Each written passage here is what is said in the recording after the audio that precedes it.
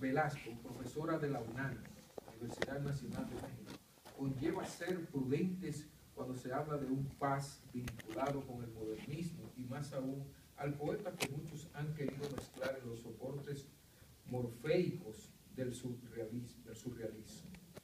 Mucho y poco que ver. Paz es único y paradójico. Su trabajo como traductor introduce en nuestro idioma la siempre compleja lectura de, por ejemplo, el poema portugués Fernando Pessoa y sus heterónimos.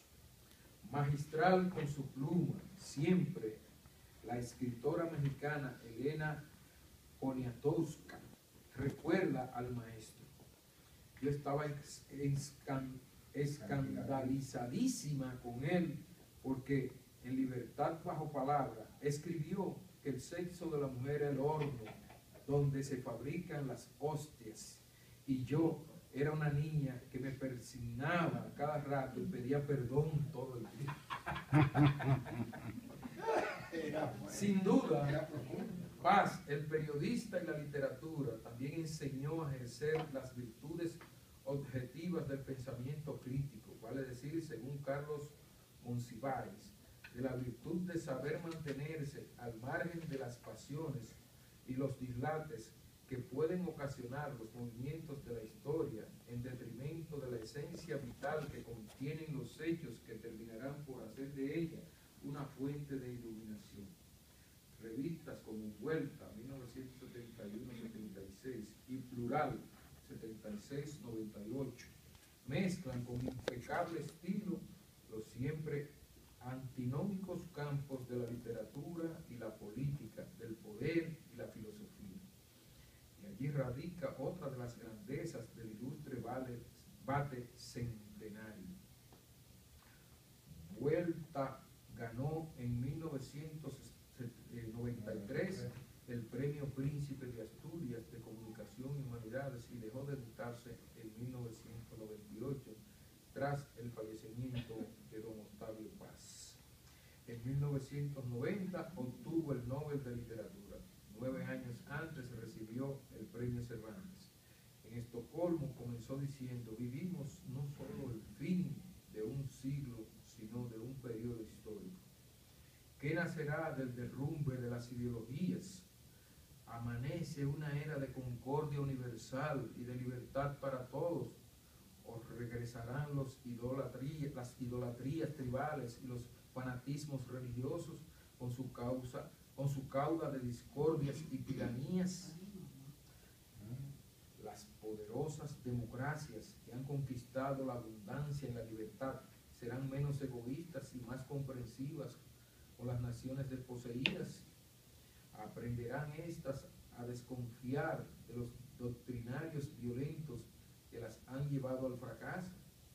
Y en esa parte del mundo que es la mía, América Latina, especialmente en México, mi patria, alcanzaremos al fin la verdadera modernidad que no es únicamente democracia política, prosperidad económica y justicia social, sino reconciliación con nuestra tradición y con nosotros mismos, Él lo sabrá. El corazón continúa latiendo al son de paz. Fíjate ahí en esa palabra, cuando él dice amanece, de una era de cordial, universal y de libertad para todos, o regresarán las idolatrías tribales y los fanatismos religiosos. Lo estamos, viviendo, lo, estamos viviendo de, en pleno siglo XXI. El ataque a la torre gemela. No, no, los talibanes. Eh, la manera de, de autosuicidarse, matándose, coche bomba, la gente religioso. Sí, mira dónde increíble. Eh, este, esos son visionarios. Este tipo de personajes eh, encaja dentro de lo que son esa clase de genios que prevén cosas que la demás gente no ve. Entonces, como ustedes ven, el perfil de Octavio Paz es un retrato de su personalidad, de su eh, vida, que comienza, como es natural, hablando de lo que es, fundamentalmente un poeta, y retratándolo por la vía del poeta romántico, del poeta que le cantó al amor, del poeta que le cantó a la mujer, con, fuerza y con eh, verdadera creatividad poética extraordinaria. Voy por tu cuerpo como por el mundo, vientre es una plaza soleada, tus pechos dos iglesias donde oficia la sangre sus misterios paralelos, mis miradas te cubren como hiedra, eres una ciudad que el mar asedia, una muralla que la luz divide en dos mitades de color durazno, un paraje de sal, rocas y pájaros, bajo la ley del mediodía absoluto. Entonces, ¿qué quiere decir esto? Este es el estilo de un perfil biográfico en donde lo fundamental es la esencia poética del personaje. Entonces se va a lo poético romántico, pero también a lo social. Y de, manera más concreta, en términos de lo que es no solamente la sensualidad y la, mujer, sino también la, vida social, el mundo, la política. Es un hombre que, como vemos, habla de democracia, habla de libertad, habla de eh, concordia universal y, lo que identificamos como un fenómeno del siglo, las idolatrías tribales, los fanatismos religiosos. Es decir, tiene en sus manos una conceptualización del mundo y eh, es de la clase de poetas y de escritores que rompen todas las reglas y se convierten en paradigma, se convierten en referente obligatorio. Entonces, comparando las dos eh, reseñas, ¿qué es nuestra conclusión? el perfil, el retrato, es acerca de alguien con una virtud o, alguien con eh, una sombra, con una mancha, como es el caso de Victoria. los dos extremos eh, permiten eh, de una manera o de otra conocer la personalidad de un individuo a fondo. Y por eso es este un instrumento tan importante de la comunicación. Ya cuando usted desarrolla un perfil, por ejemplo, ¿quién fue Gregorio Luperón? La espada salvadora de la independencia dominicana. se la robaron. se la robaron también. Decir, ¿quién fue Juan Pablo Duarte? ¿Quién fue Simón Bolívar? Cuando usted ve personajes de esa categoría y usted lo lleva a su programa en un perfil de 10 párrafos, de, de, resumen de eso, usted contribuye a la educación y a definir personajes de la historia que son verdaderas piezas para la eternidad. Está frente a un Octavio Paz, frente a un intelectual de esa categoría, un Pedro Mil, y usted resume en 10, en 15 párrafos, la, la ventaja de, esto es que esto eh, le da una dimensión alta al medio en el que usted se encuentra. Nosotros teníamos en Radio Popular una sesión que llamaba El hombre y su historia. Eran perfiles de los personajes protagonistas de la historia en cualquier parte del mundo. ¿Cuál viene a ser la diferencia entonces entre la biografía y el perfil? Bueno, el perfil es, o el retrato, viene siendo algo menos, eh, fulanito nació en tal sitio y murió en tal parte. Contarlo de manera, vamos a decir, un poco vaga, vaga y superficial. La biografía puede ser algo más personal, en donde tú lo que haces es retratar nada más la parte positiva tuya la parte negativa, los hechos eh, de Victorio que lo definen como un carácter violento, él no lo va a poner en una biografía.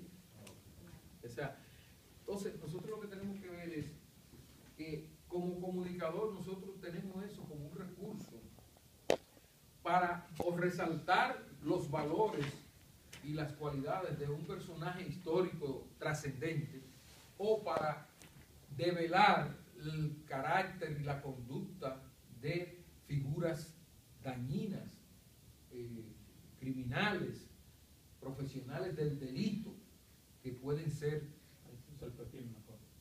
eh, presentados en un perfil. O sea, depende de quién sea y en qué circunstancias se encuentre, pero también puede ser el simple obrero, trabajador que se levanta a las 5 de la mañana y regresa a las 8 de la noche y trabaja 12 horas diarias para mantener su familia. Usted puede hacer un perfil del, vendedor, del, individuo, el héroe anónimo, que es ese personaje que se, se baja de sol a sol y que produce riqueza para su familia y bienestar. O sea que depende de cuál sea la situación que usted quiera reflejar, el perfil te ayuda muchísimo. Por ejemplo, yo iba a dar una noticia de la influencia de los hermanos Koch en las, en las próximas elecciones legislativas. Entonces yo, yo entendía que yo decía los hermanos Koch, mucha gente no sabía quién era. Entonces yo dije quién eran los hermanos Koch, de dónde venían, el dinero que tenían, lo que invertían, lo que hacían. Ya eso viene siendo un perfil entonces.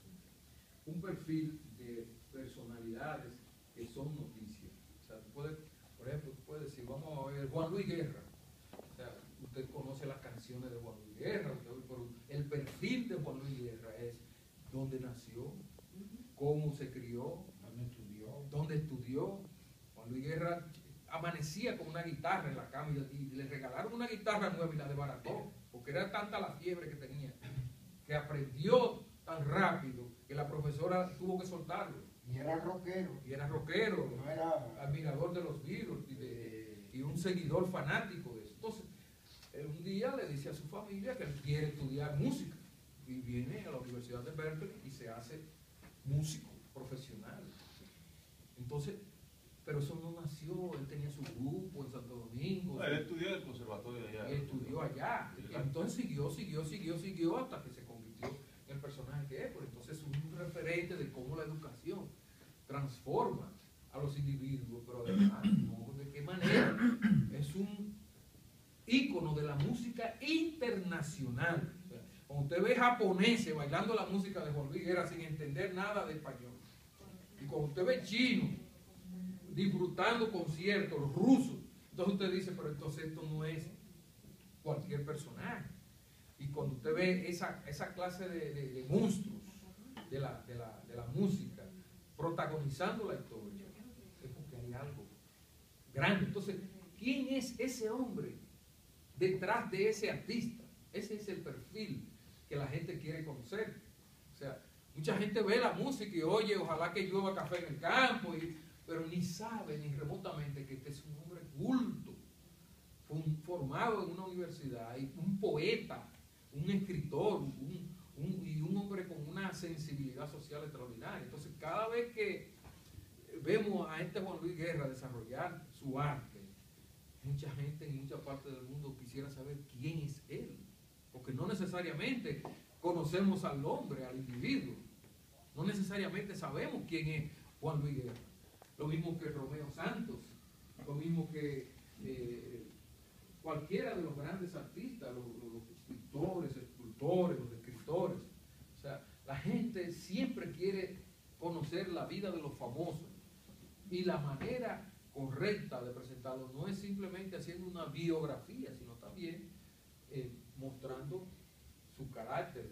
Ahí se expresa el carácter psicológico, el carácter eh, los contrastes en la personalidad de un individuo. Entonces, tanto el que sirve de referente como el que no sirve, más que para que lo metan en la cárcel, como es el caso de Pistorio, pueden ser, pueden ser ejemplos de una buena, eh, eh, un buen retrato o un buen perfil eh, biográfico.